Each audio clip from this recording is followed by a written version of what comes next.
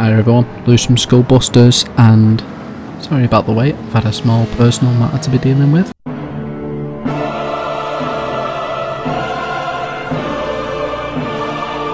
Anyway, let's get back to it. So, Le Mans 700 was one of the most requested tunes to see what the well, what the best 700 PP car was, uh, and it is still the Aston Martin VGT. Now, I've tested out the Audi Quattro, the Nissan Skyline with the engine swap, the RX-7 with the engine swap.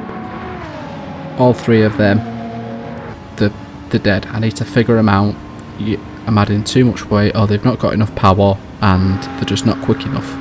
So I need to figure them out to bring them back down to a reasonable level where they could do lap times comparable to this, but nothing at this moment in time comes close.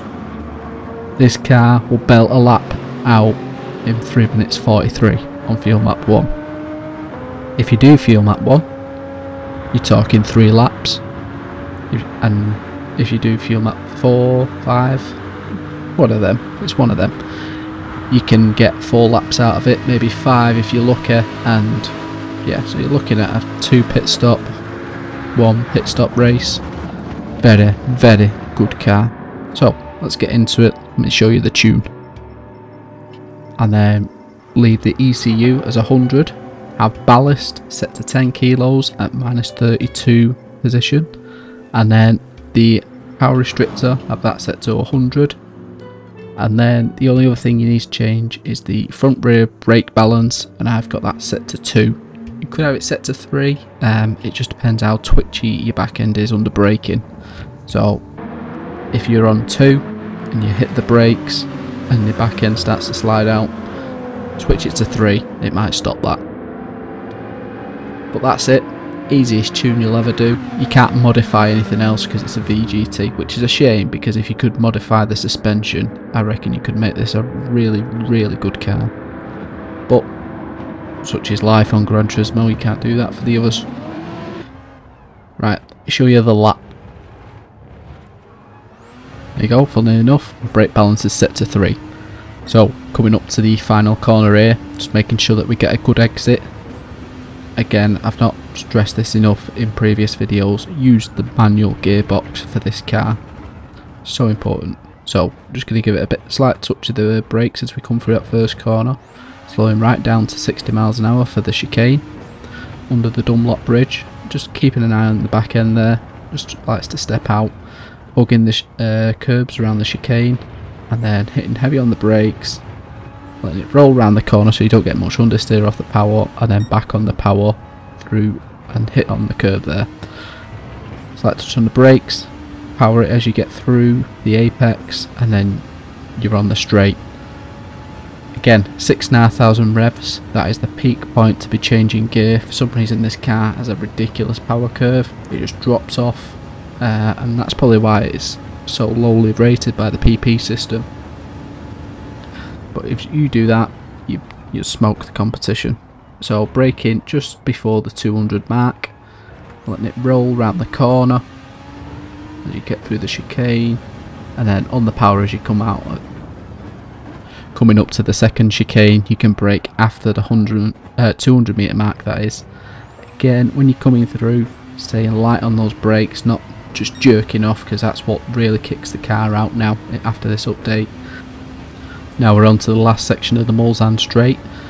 You're going to want to be careful at the bottom of this uh, when you get to the corner. You're going to have to brake heavy but not make too much movement on the steering.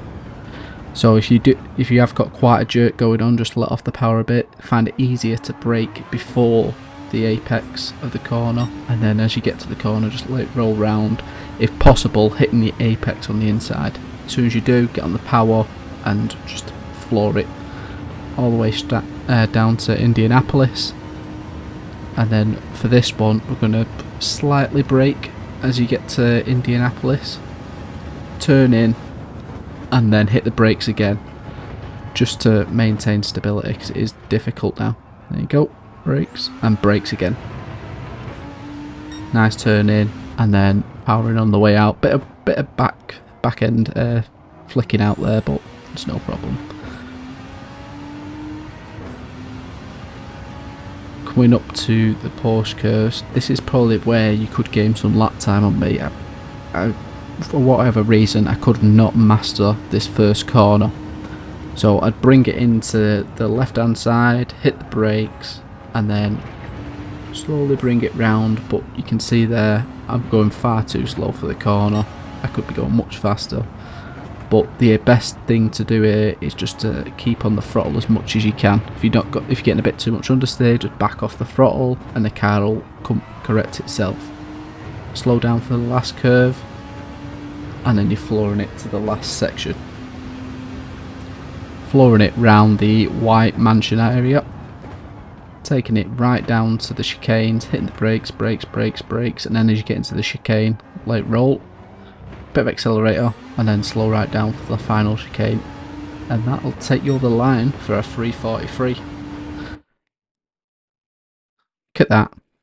Nothing comes close at the moment. So when it does I'll let you know. But until then this is the absolute best car to be using. It's good on fuel it's quick it's easy to drive. The only drawback being you've got to use it in manual but to be fair it's probably the best car you can use to get used to using manual and it is such a big benefit particularly now. You're getting a lot more oversteer in the group 3 cars on the online races on the daily races.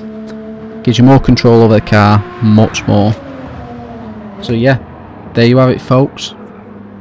Smashes the competition. Still the best car until next time adios